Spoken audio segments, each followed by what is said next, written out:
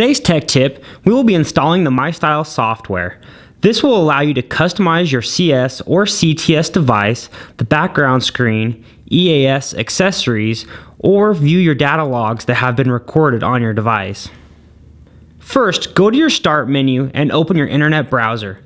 In your web address bar, type in fusionupdate.com to bring up the website. From here, you're going to click on the MyStyle software icon.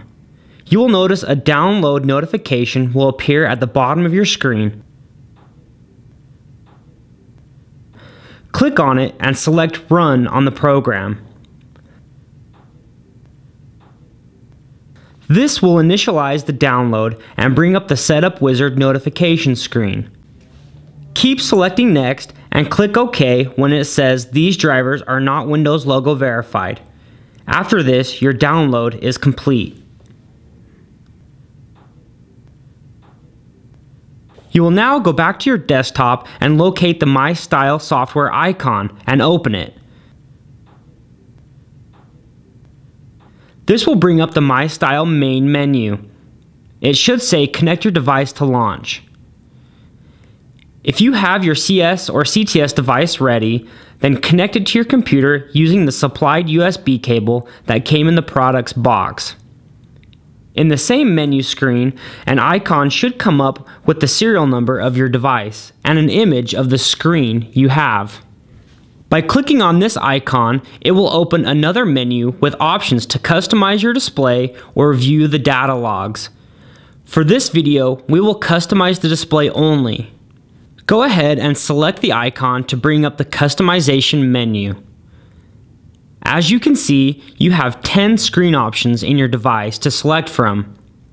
At the top of this page, you can select any of the 10 options to be customized. I will select the second option with flames for this tutorial. Notice that the flames option is highlighted and the big CTS screen below has changed to show that you've selected it. To customize this screen, you can select the open image icon to the left. Locate a picture that you would like to upload from your computer onto device and select it.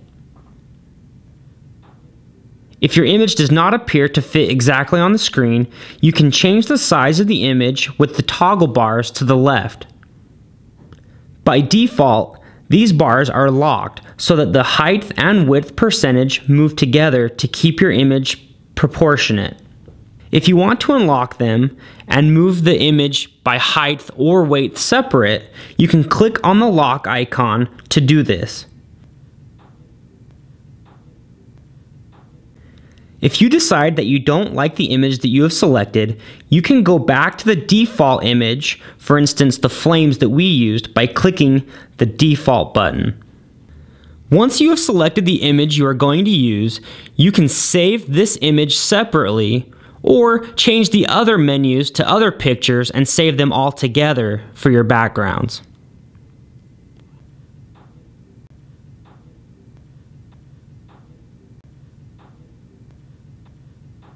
It's now time to close the program, unplug your device, and take it to your vehicle to see how it turned out. Make sure all of the images are saved. If you have any other questions or need assistance with your MyStyle software, please contact our technical support department at the number on the screen. They would be glad to help you out.